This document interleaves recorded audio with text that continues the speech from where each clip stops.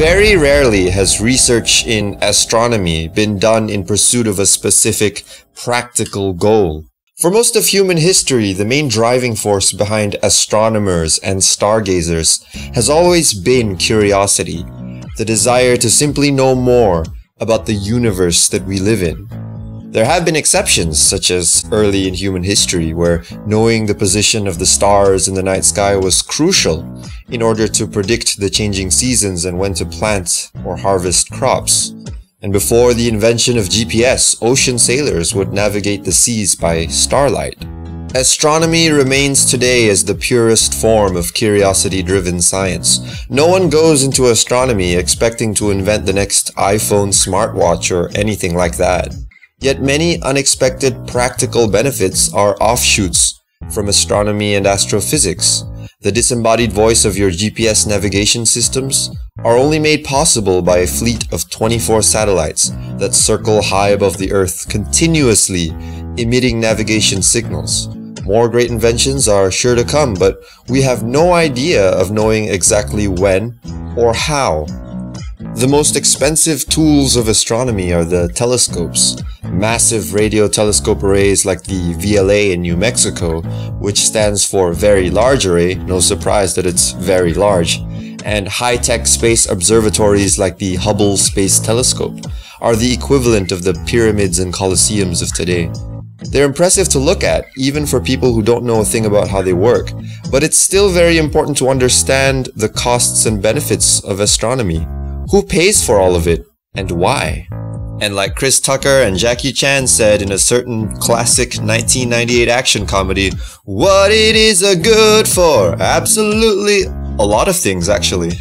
One of the most iconic telescopes of all time, the Hubble Space Telescope that inspired an entire generation of science geeks, as well as directing the attention of many ordinary people to the wonders of space and space exploration, cost a total of 2.5 billion US dollars. In return for that investment, the Hubble Space Telescope has given us a better understanding of the size of the universe that we live in and a better idea of how old it is, further tackling the most basic human questions of life, like where are we and where do we come from? To the geeks and techno savants of society, that's a pretty damn good deal. But what about the common people? The small folk, the bakers, the school teachers, and the hot girls. Was the $2.5 billion worth it? With $2.5 billion, you could buy half of Tumblr.com. You could buy 625 million Xbox Ones or PS4s, you console peasants. You could buy 12 F-22 fighter jets, or you could buy a single Curiosity rover. Astronomy has always relied on patrons, private individuals, societies, and groups with the wealth and desire to support science, for science's sake. The Keck telescopes were built with a $150 million donation from the Keck Foundation to Caltech University. The Keck Foundation is a charitable foundation that originally had ties to oil companies. That's pretty impressive, but since the practical benefits from the undertaking of astronomy are inconsistent, most profit-making corporations whose main priority it is to make money are not willing to immediately pay for astronomical research. Sorry, Beyonce, it's not girls who run the world, it's money. Throughout history, it was governments that played a big role in supporting astronomy.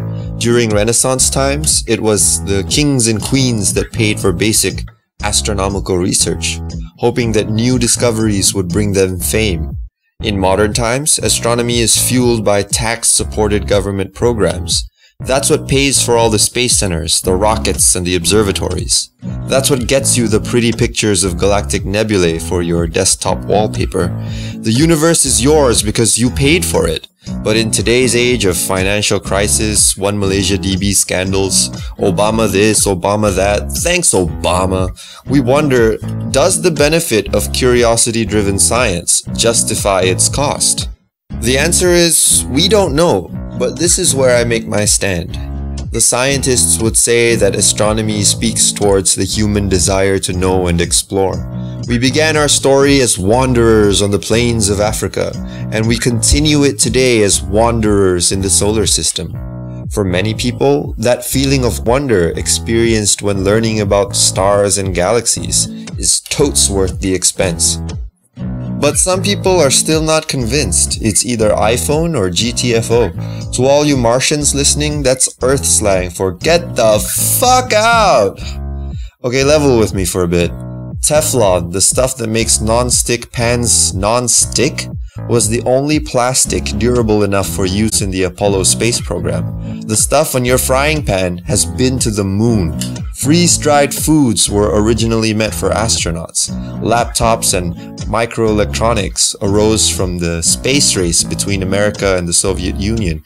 We use this stuff today to look at cat pictures on Instagram. These are everyday objects with space research as their origins. The image processing techniques used by astronomers to analyze pictures of the cosmos have been applied to diagnose breast cancer in X-ray images.